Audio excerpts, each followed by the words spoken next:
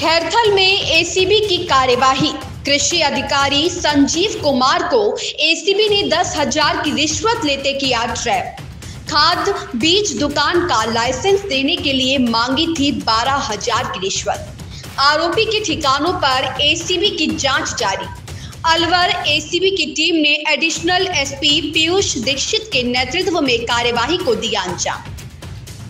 खैरथल में एसीबी की कार्यवाही।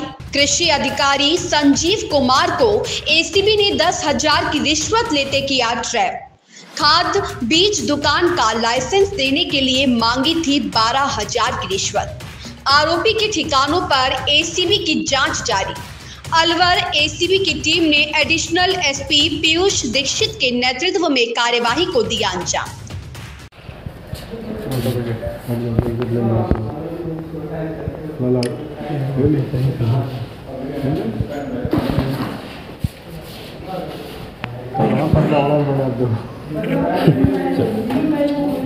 जो ये कार्रवाई हुई है, ये इसमें मतलब क्या हुआ है? देखिए परिवादी हैं, उन्होंने हमारे को दिनांक एक मार्च को एक लिखित शिकायत पेश की थी कि उनके खाद, बीज और दवाइयों के लाइसेंस को जारी करने के लिए इस कार्यालय में संयुक्त निदेशक कृषि विस्तार जिला परिषद खैरतल तिजारा में पदस्थापित कृषि अधिकारी संजीव कुमार बारह हज़ार रुपये की रिश्वत मांग रहा है।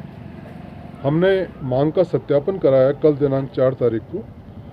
मांग के सत्यापन में दस हज़ार रुपये लेना ठहरा और आज उनको लेकर बुलाया था हमारे परिवादी को। हमने अधिकारी कृषि अधिकारी संजीव कुमार को रेड हैंडेड ट्रैप किया है और उनकी जैकेट की जेब से दस हज़ार रुपये की रिकवरी करी है।